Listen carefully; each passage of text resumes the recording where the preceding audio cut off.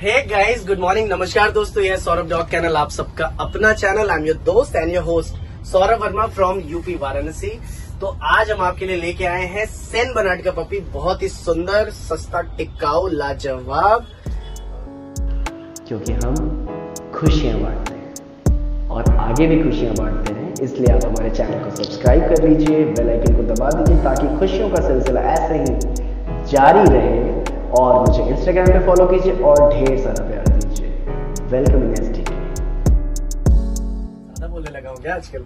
चलिए कोई नहीं, अपने गुलवा मुलवा को हम लेके आए ये देखिए हमारा सुंदर सा, प्यारा सा सेन बर्नार्ड का पपी है। सैन बर्नार्ड जैसा कि हम सब जानते हैं, बड़े फैमिली है, बड़े मिलनसार और खेलना इनको बहुत पसंद है। ये बहुत प्लेफुल होते हैं, ये बहुत नोटी होते हैं और ये काफ़ी बल्कि होते हैं। बल्कि इन द सेंस ये काफ़ी बड़ी ब्रीड है। मतलब जब ये पूरे बड़े हो जाते हैं तो पचासी के जी नब्बे के जी कभी कभी एक एक क्विंटल के हो जाते हैं। लाइक 110 के जी 105 के जी तक।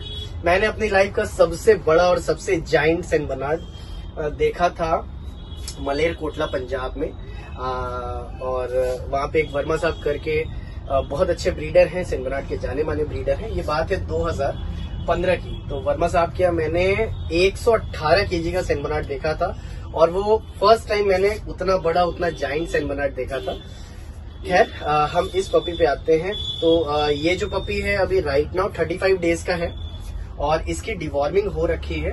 अगले हफ़्ते इसकी वैक्सीनेशन होगी। वैक्सीनेशन करने के बाद जब ये पपी आपको मिलेगा तो 45-50 डेज़ के अराउंड करके हम आपको पपीज देते हैं। और सेनबनट कभी भी काटते नहीं है। यानी कि ये आक्रामक नहीं होते या अग्रेसिव नहीं होते। और सेनबनार्ड एक ऐसी ब्रीड है जो आपको बचपन में यानी कि इतने छोटे होने पे भी इतना ही प्यारा लगेगा। चार महीने बाद भी उतना ही प्यारा लगेगा और ये चार साल का होने के बाद भी प्यारा ही लगता है। सेन बनार्ड एक ऐसी ब्रीड है जो बड़े होने पर भी अपनी क्यूटनेस अपना प्यारापन या अपना भोला चेहरा आ, नहीं छोड़ता। ये बड़े होने पे भी बहुत प्यारे लगते हैं। तो गाइज़ और सेन बनार्ड के विषय में अगर हम बात करें तो ये बड़े ही रफ एंड टफ टाइप के डॉग होते हैं। मतलब इनमें आपको ग्रूमिंग की ज़रूरत होती है। अगर आप सेन लेने का सोच रहे हैं तो हाँ आपको ग्रूमिंग का बहुत ध्यान रखना पड़ेगा, इनकी साफ़ सफ़ाई का ध्यान रखना पड़ेगा। टेम्परेचर आपको मेंटेन करना पड़ेगा, क्योंकि ये बर्फ़ के डॉग है। इनको हमेशा ठंडी जगह पसंद होती है, नहीं तो आपको एसी प्रोवाइड कराना ही कराना पड़ता है। अगर आपके घर में एसी नहीं है तो एटलीस्ट एक बड़े कूलर में आप इनको रखिए, क्योंकि इनके जो फर होते हैं ना, काफ़ी बड़े होते हैं। आप देख रहे हैं बड़े बड़े बाल हैं। और वैसे भी एक ठंडे जगह का डॉग है तो इसको कूल टेम्परेमेंट चाहिए होता है। गर्मियों के दिनों में सेनबनाट को ज़रूर ज़रूर ज़रूर से दही देना चाहिए और डेयरी प्रोडक्ट्स का सेवन कराना चाहिए, जैसे दही, मंठा, छाछ, पनीर, छेना। ये सारी चीज़ें इनके लिए बहुत हेल्पफुल होती हैं और दही की तासीर ठंडी होती है तो इसका पेट भी ठंडा रहता है। दूसरी बात, जब भी आप एक सेनबनाड ले रहे हैं तो देखिए दो तरीके के सेनबनाड होते हैं। एक शॉर्ट कोट होता है सेनबनाड जिसको बाल नहीं होते, या बहुत छोटे बाल होते हैं। दूसरा लॉन्ग कोट होता है सेनबनाड जैसे आप ये वाला जो पपी देख रहे हैं, ये लॉन्ग कोट में इसका फर देखिए काफ़ी लंबा लंबा है। अभी से इस 35 दिन के पपीज के लगभग ढाई से तीन इंच के बाल हैं, इतने बड़े बड़े बाल हैं। अभी थोड़ा सा खेल के खुद को इसने गीला कर लिया तो अब देखिए। दिखाओ। से hello hello viewers hello viewers तो अभी हमारे पास छह मेल है और दो फीमेल है इस लीटर में। तो हमारे यहाँ जो मेल की प्राइस है इस पपी की, वो है फोर्टी थाउज़ेंड रुपीज़ फीमेल की जो प्राइस है, वो है थर्टी फाइव थाउज़ेंड रुपीज़ और अगर आप शॉर्ट कोट में पपीज लेना चाहते हैं तो वो आपको पच्चीस से तीस हज़ार रूपए के रेंज में मिल जाएगा। तो सेन बनार्ड बेसिकली मैंने बताया, दो तरीके के होते हैं, एक शॉर्ट कोट दूसरा लॉन्ग कोट ये है लॉन्ग कोट अब आप ज़ाहिर सी बात है, जब आप ये पपी लेना चाहेंगे, जब आप ये सेन देख रहे हैं आपका लेने का मन कर रहा है तो आप इसके मामा पापा भी देखना चाहेंगे। आप ये देखना चाहेंगे कि इनकी माँ कैसी है, इनका फादर कैसा है। ये सीधा भागा उधर और ये लेट गया। तो ये जो आप देख रहे हैं, इस तरफ़, ये बच्चे के फादर हैं, बच्चे का पापा है, Gabbar his name is Gabbar, और ये बच्चे की माँ है her name is Daisy Daisy और गब्बर से ये वाला पपीज हमारे पास हुआ है और हमारे पास आठ पपीज का बहुत ही सुंदर और बेहतरीन लीटर हो रखा है। अभी इसको आ रही नींद, हम इसको ज़्यादा परेशान नहीं करेंगे वीडियो को भी ज़्यादा लंबा नहीं करेंगे। तब तक आप वीडियो को लास्ट तक देखिए। वीडियो को लास्ट तक देखने से आपको बहुत सारी चीज़ें और पता चलने वाली है। और क्या क्या बातें हम जान सकते हैं सेन बनाट के विषय में?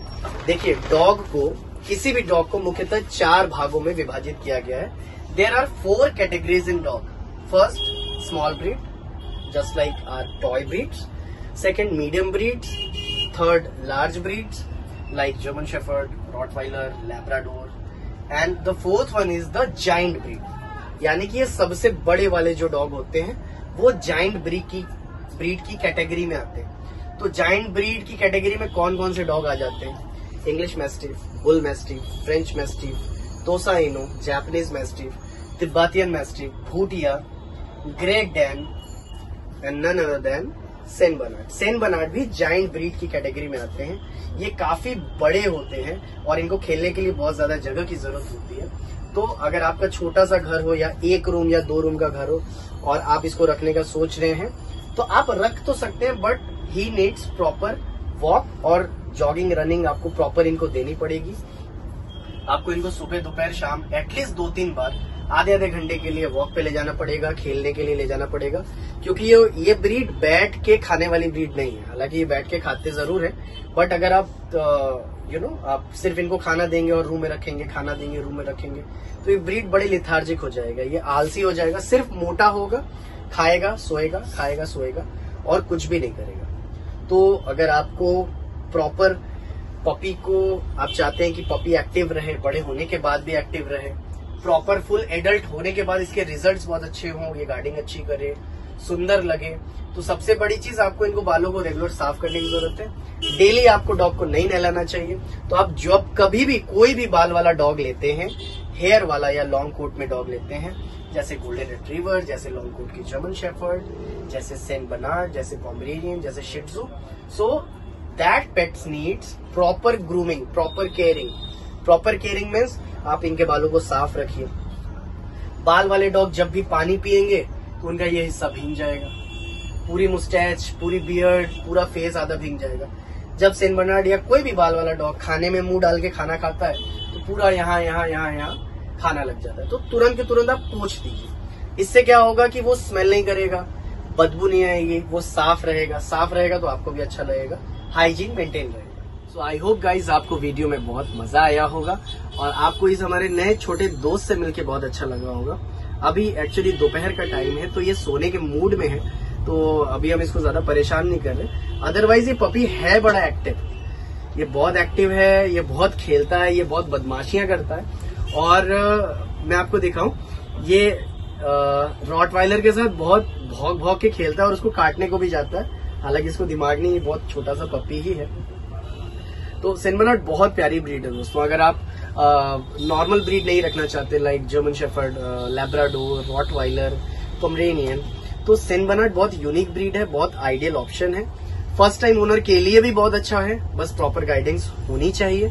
और ये थोड़े से खाने वाले डॉग हैं। लेब्राडोर जर्मन शेफर्ड का काम मतलब पंद्रह सौ, दो हज़ार, ढाई हज़ार महीने पे आप लेब्रा जर्मन को पाल सकते हैं।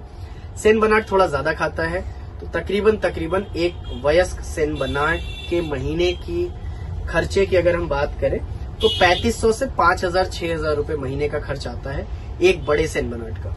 और एक बड़े लेब्राडोर या जर्मन शेफर्ट का महीने का खर्च लगभग 2500 से 3000 3500 रुपए तक आ जाता है बड़े आराम से।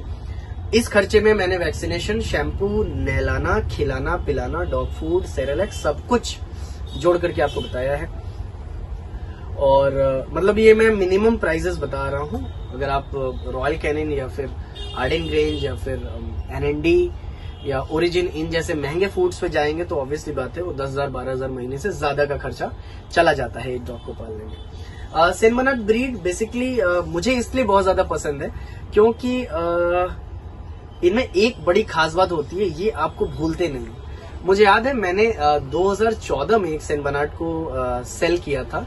रॉबर्टगंज में। और रॉबर्टगंज में सेल होने के बाद, अभी 2019 में मेरी मुलाकात उससे हुई, लगभग पाँच सालों के बाद। और यू कैन नॉट बिलीव कि बच्चा इतना बड़ा गया था मेरे पास से, लगभग 40-45 दिन का। और उस पपी ने मुझे बिल्कुल पहचान लिया।